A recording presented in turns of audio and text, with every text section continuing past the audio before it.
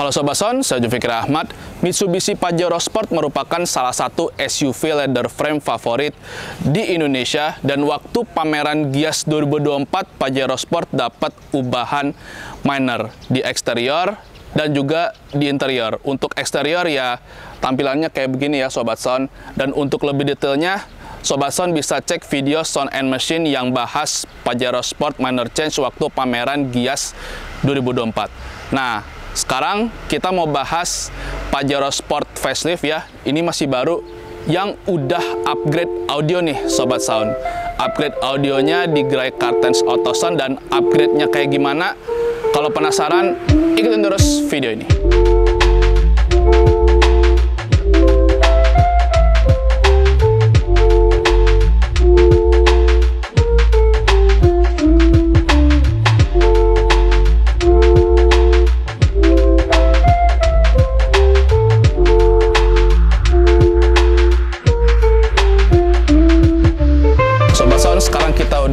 Dari Cartens Auto Sound dengan Mas Jupe. Coba ya. Ya. Ah, temu lagi kita. Iya. Sebelumnya kita bahas eh, Yaris Cross Bahas, ya, Yaris Sekarang kita Cross. bahas Pajero, Pajero. Sport dan kayaknya Sound Machine belum pernah dibahas upgrade audio Pajero Iya, Sport. Oke, untuk upgrade audio Pajero Sport ini apa nih, Mas Jupe? Eh, untuk Pajero Sport ini upgrade-annya adalah dia untuk bagian depan ada speaker two way ya. Two way. Jadi two way itu menggunakan vokal, bagian belakang juga ada two way juga menggunakan vokal. Vokal. Kemudian untuk bagian depan di jok sebelah kanan sama sebelah kirinya itu ada amplifier sama ada prosesornya. Oh. Nah, terus kalau untuk bagian paling belakang atau bagasi di sana ada subwoofer. Full vokal jadinya. Eh, full vokal ya.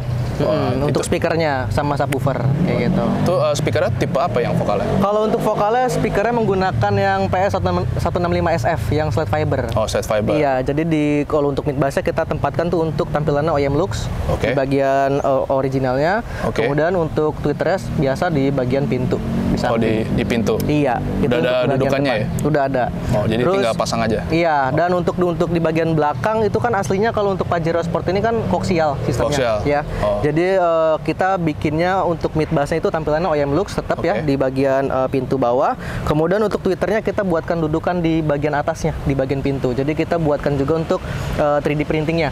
Oh. Iya, jadi eh, kita tempatkan untuk eh, bagian Twitter di atas, mid bassnya di bawah seperti itu. Oh, tadi subnya pakai vokal yang apa? Sampai pakai vokal yang slim, Slim. vokal slim ya, yang 10 inci. Oh, yang 10 inch. Iya, itu kita custom Oh. di bagian sebelah kanan, Ah. bagian bagasi seperti itu. Kayaknya udah sering banget ya pakai vokal. Iya. apa pun mobilnya, apa pun Iya. instalasinya, vokal sih Iya, yang- speakernya. ah, karena ya mungkin kita tahu ya kalau eh, karakteristik dari vokal kan kalau kita setel musik aja yang paling kedengaran juga vokal dari penyanyinya itu udah udah bagus banget ya. Oh. Yang pertama clean juga, clear suaranya. Kemudian ditambah lagi eh, untuk suara dari Twitternya juga kita dapat gemerincing-gemerincing dari musik-musiknya kalau kita setel yang akustik dan segala macam. Padahal slide fiber itu kan masih hitungannya masih entry ya, masih Iya, bawah. nah itulah itulah bagusnya vokal.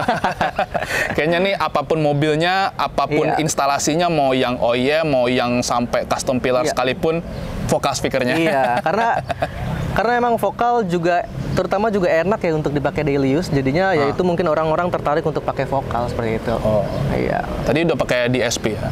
DSP sudah pakai kita menggunakan kita percayakan untuk al- dari Alpine. Alpine. yang M60 strip 4. M60 strip. Iya, jadi kita tempatkan di bagian jok sebelah kiri untuk di Oh. mobil Pajero Sport ini. Oh, berarti tipenya yang entry dong kalau yang Iya. 604. Heeh. Kemudian untuk eh, amplifiernya kita tempatkan di bagian jok sebelah kanan. Ya, Itu kita pakai Zapco. Zapco. Iya.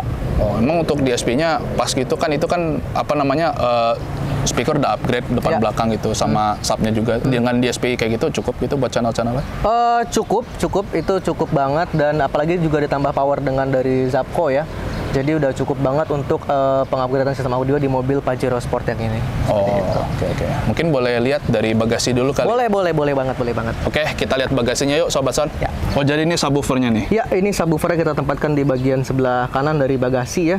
Ya. Jadi eh, kita juga buatkan custom untuk boxnya. Oke. Subwoofernya jadi eh, bagasinya ini masih berfungsi secara normal. Jadi kalau mau taruh barang pergi-pergi itu masih bisa untuk taruh barangnya di bagasi. Oh, gitu. ini emang maunya pemilik ya bikin subwoofer pasif Betul, gini. ah, dan ini juga boxnya masih bisa dibuka-buka kayak gini. Nah, Oh, berarti kan? masih, apa masih normal, fungsional. Masih normal, Oh. iya, betul. Ya, mungkin kapasitas bagasi ya sedikit eh, makan space ya. Iya. Tapi nggak begitu banyak lah kalau segini. Iya, betul betul. Ya, ini- Bagian sebelah kanan.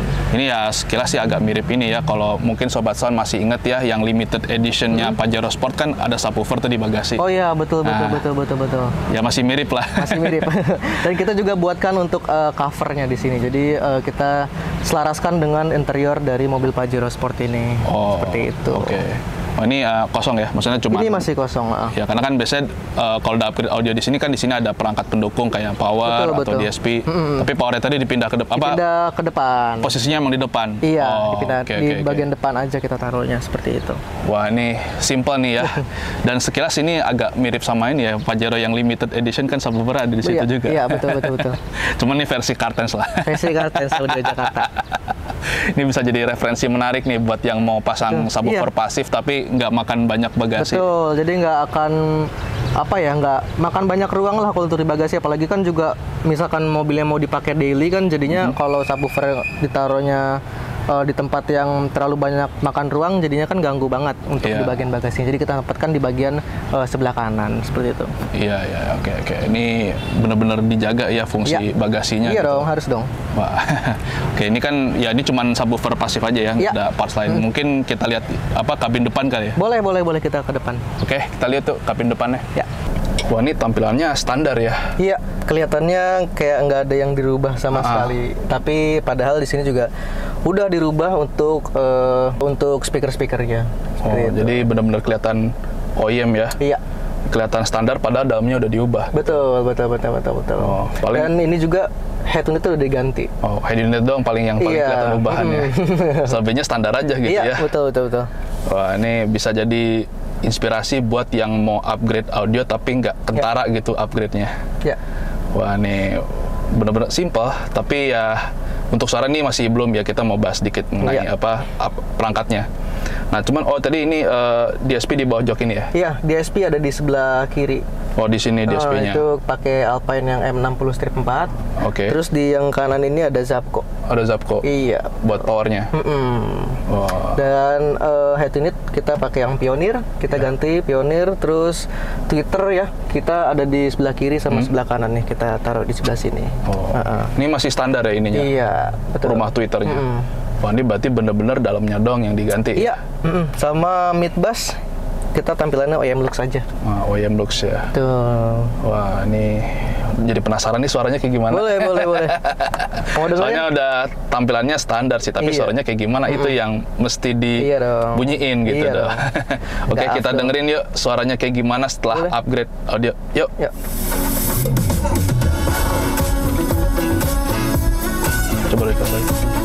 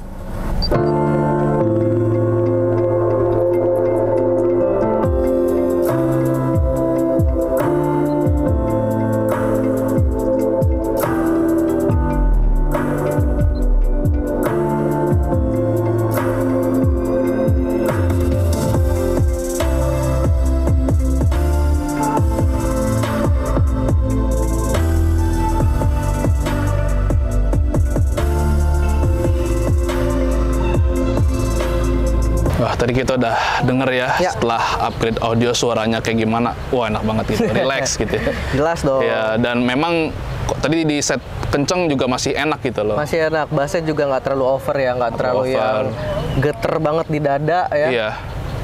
Jadi kayak apa yang bulat gitu loh. Iya. Iya. Ya enak apa padat gitu Iya. ininya eh, suaranya pada Iya. saat volumenya tadi digedein Tuh. gitu ya. Dan ini pasti pakai peredam dong supaya Oh, pakai pakai pakai peredam dengan ukuran 2 mili ya. 2 mili. Heeh. Oh, ini udah cukup ya buat ukuran Cukup segitu? cukup cukup cukup karena eh, kalau upgrade audio udah pasti harus eh, kita instalasikan juga dengan peredam ya supaya eh, suaranya juga jadi bold di dalam jadi nggak nggak yang ke mana-mana juga gitu suaranya. Gitu. Oh, ya meskipun keras tapi terarah gitu Betul. ke satu titik. Betul. Wah. Oke, kita udah dengerin upgrade Pajero Sports lah. Upgrade audio kayak gimana suaranya. Wah, makasih ya udah Ya, kasih sama-sama, kesempatan untuk sama-sama. ya, jadi seperti ini salah satu referensi upgrade audio simple Mitsubishi Pajero Sport ya. Dan ini kebetulan yang terbaru nih. Gitu. Oke, sekian untuk video kali ini. Semoga bermanfaat. Seperti biasa, jangan lupa diklik like, subscribe channel YouTube-nya soundmachine.com. Kalau Sobat Sound punya komentar, pertanyaan, atau apa pun itu, tulis saja di kolom komentar. Ya. Jangan lupa di-follow juga akun Instagram dan TikToknya soundmachine.com. Di-like juga akun Facebooknya soundmachine.com. Pantau terus website soundandmachine.com Ya. untuk informasi otomotif terkini. Dan buat Sobat Sound yang punya Mitsubishi Pajero Sport atau mobil apa pun itu yang mau upgrade audio, mau tanya-tanya ke mana mas? Bisa ke Kartens Audio Jakarta. Jadi eh, untuk teman-teman juga yang punya mobil Pajero listrik ya semuanya dan lain-lain itu kalau mau cari referensi-referensi eh, bisa juga untuk mampir ke channel YouTube Kartens Audio Jakarta. Seperti itu. Wah, ini buat yang Ya. udah nggak salah deh kalau udah kartes udah udah ketahuan banget deh gimana hasilnya, gimana upgrade-nya, gimana build-nya, bahkan semuanya pun sampai diperhatiin ya. Jadi bener-bener setelah keluar dari workshop udah normal gitu, nggak ada udah masalah. normal kita juga udah kalau mau diambil sama pemiliknya biasanya kita cuci dulu kita vakum kita bersihin semua jadi ownernya pas bawa pulang juga udah enak banget Udah enak ya. Iya, Oh, dan parkir udah nggak mikir ya. kan Iya. pasti bakal lama dong di Iya, workshop. iya. nggak usah mikirin parkirnya dan segala macam udah pokoknya bawa pulang udah enak Wah, pokoknya, pokoknya mobil bawa pulang udah enak ya. Ya. Oke, makasih udah nonton. terima Ya. kasih